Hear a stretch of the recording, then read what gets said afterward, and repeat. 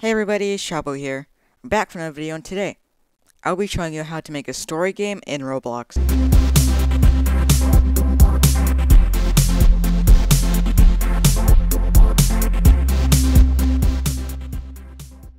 So the first thing we're going to want to do is make a teleporter, because we want to teleport them to the next game, which is going to be the game where the story is at. So first we're going to open up Explorer and Properties. You can see it in View at the top go to Explore, click that, click Properties as well, and then they should be on your screen somewhere. Next, we're going to go to Home at the top here, click Part, and this is the teleporting box that we will be using. So when players are standing inside of it, it will teleport them to the game. So you can move it around and make it as big as you want. You can also make it invisible, so if you have it selected in Explorer, you go to Properties and then you find Transparency. You can make it invisible. I'll just make it like this. And then I'll make it neon. And I'll make it purple. Now we have our teleporting box. You're also going to want to go to properties and turn off collision. So you want to go to properties here after you select it. Scroll down and turn this off. Now we're going to go to explore again. Right click the object this time. Insert object. And then insert a script. Now we're going to start setting up some variables so local players equals game get service players. Local teleport service equals game get service teleport service. We're going to set up a variable for the timer. So I guess I can make it like 10 seconds for this. And then the max amount of players. So max players equals, I'll just say 3. Since I can only test this with uh, like 1 to 2 people. Now we're going to put a loop. So while task.wait1 do. So every time one second passes, it'll run the code inside of here. Now I'm going to check for all the players inside of it. So local players equals this, which is a table. I'm going to store them in this variable whenever they're detected inside of the box. So local touching equals workspace, get parts in box, script.parent dot cframe, then script.parent dot size, and then we have to set some parameters, so overlap parameters and then I can just put this. And then just set that to the box inside of a table. And then I can put it right here. And that part is done. Everything that's touching the box is going to be stored right there. Now we're going to loop through everything in that table. So for i thing in pairs touching do. So for everything that's inside of this table it'll run this code for it with this as the object this variable as the object and then now we're going to check for a player. So I'll go player equals players, get player from character, thing.parent. We're also going to make sure to check if it exists. So if thing and thing.parent then, and then move this inside of here. We want to make sure it exists first because sometimes Roblox just fires it even though it's not even there. I don't know why, but that happens. Then if player, and it's not already in the table, because players aren't just one part, they're multiple. So, and not table to find players player. We also want to change this name because we already have a name for the player service, so players 2. So let's put that right there, and then that'll fix that. So what this is doing is checking if there is a player, and then we're checking if they are inside of the table or not. We don't want to put multiple of them in the same table, because that'll cause glitches. Then table.insert players 2 player. So for every player inside of the box, it'll put them in the table, and now we have them saved.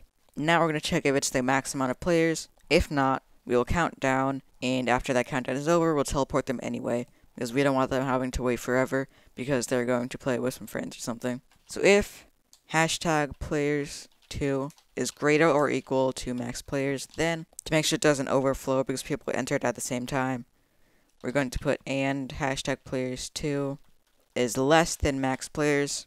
That will prevent it from overflowing. So if we have enough players, we can just teleport them to the game. So I'll just print teleport there. Otherwise, time if hashtag players 2 is greater than 0, so there's at least one player in there, we will count down the timer. Timer minus equals 1. If timer is less or equal to 0, then we will teleport them alone on their, by themselves. Now, we're going to want to get the ID of the game we're trying to teleport them to. So we're going to want to click View here at the top, go to Game Explorer, and then you want to double click places and then get your place. If you don't already have one, you can right click, add new place, but I already have one right here. Going to right click it, copy ID to clipboard. Now we can close that. And then now we're going to try to teleport them. So teleport service, teleport async, players to that. So now it'll try to teleport them to that. You'll actually want to put this first because that's the first argument that you need for it. And we can do the same thing here. We'll also want to reset the timer whenever there's nobody in it just to make sure that someone doesn't enter the box for half a second and then get teleported instantly. And now the teleporting script should be done. So if I open output here, this will show us errors. Because if we try to teleport in Studio, it'll error because you cannot teleport in Studio. So I'm going to go to home and press play. Now I'm going to go inside the box. And then after 10 seconds, it should teleport us. So we're going to wait that. Then as you can see, we got a teleport error, which means that it worked. And obviously, if you had enough players to go inside the box, it would teleport them instantly. So now we know that that is working. Now we can go to Game Explorer again. And then we can go to the place that we're teleporting them to. So we're just going to double click it. And then I'm going to go to there. Okay, so now I'm at the new place, which is where our story is going to be taking place at. So we're going to want to wait for them to spawn in, of course. I'm just going to use a map that I already uploaded. This is the crossroads from Roblox. I'm just going to use this because I do not feel like building. And I'm going to put a spawn right here.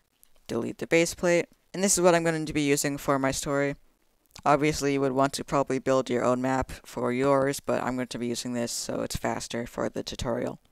Now we're going to want to wait for everyone to load in. So we're going to set up some borders. So I'm going to go to Explore, right click on Workspace, Insert Object, Folder, and then put Borders. We're going to be using this to open up and close borders. So I'm going to do this real quick. This is going to be our waiting area for when people load in. Make sure the box walls are thick enough so people can't glitch through it. Because people will do that. You can see that in other camping games. And then once your box is done, we can click all of these, select all of them by holding shift and then clicking that. Or if they're separated, you can hold control and click all of them separately. I'm going to name this wall, and then I'm going to make it invisible. Now we cannot see them, but they are still there, and we can still collide with them so nobody can go past this box. Now we're going to group it up, so right click, group as a model, or you can press Ctrl G when they are selected. And I'm going to name this spawn border. We're going to drag it into the folder we made, and now that should be done.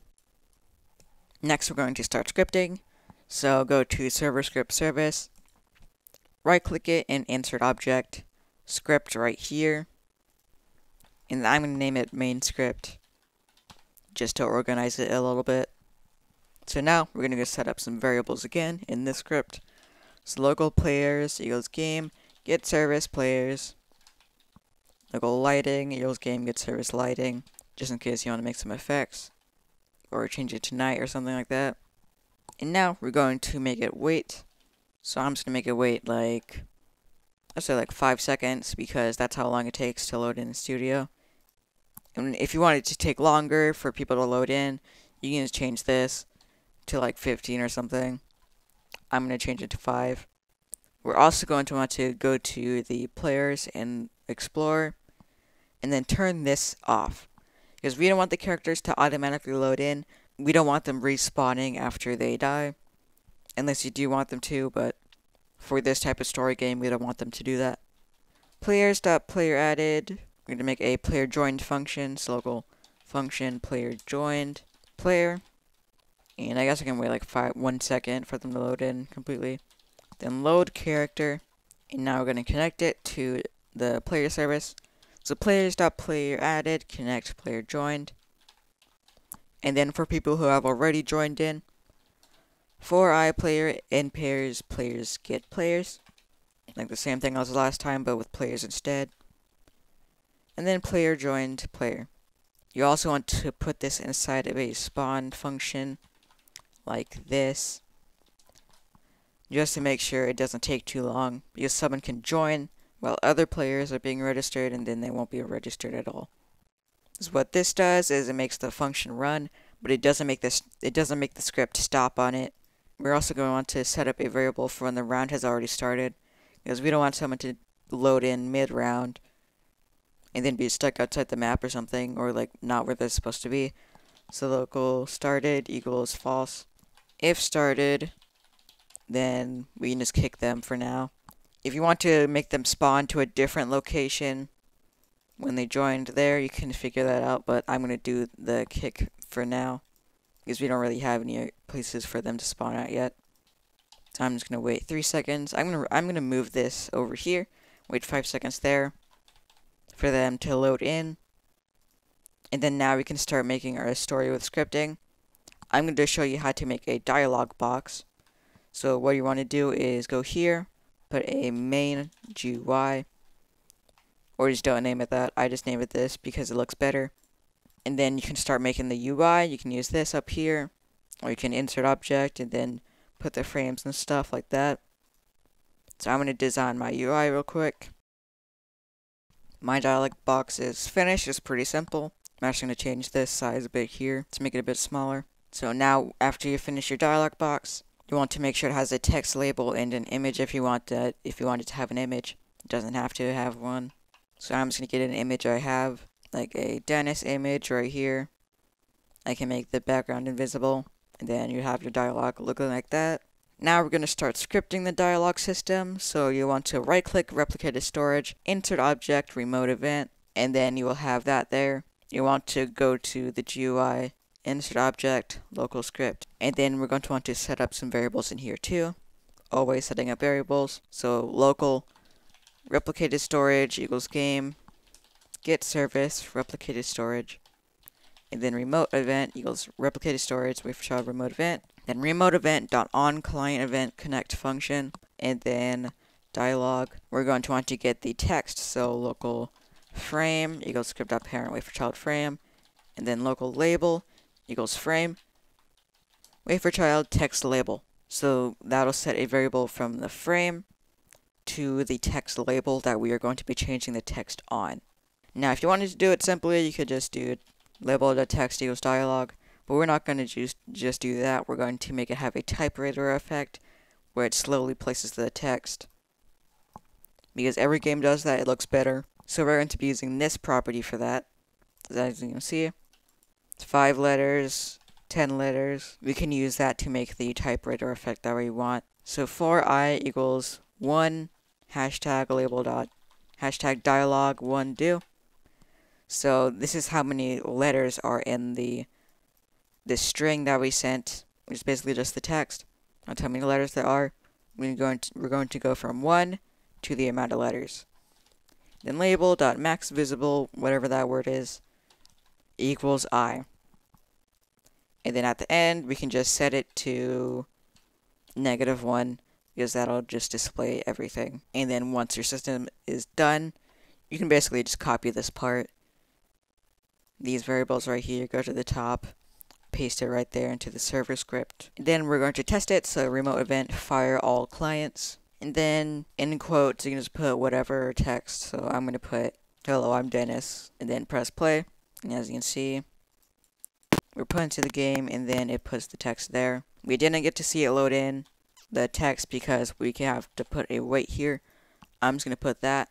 You can change the amount of time, but this is the slowest it can go. If you wanted to load the text even faster than that, you could just go and put this here. Just change the number to make it even faster. But for this, we're, we're just going to use 1. And that's part 1 of how you make a story game in Roblox. I would continue, but apparently Roblox Studio doesn't want to work, as you can see right here. Make sure to slap that like button and punch the subscribe button. Peace.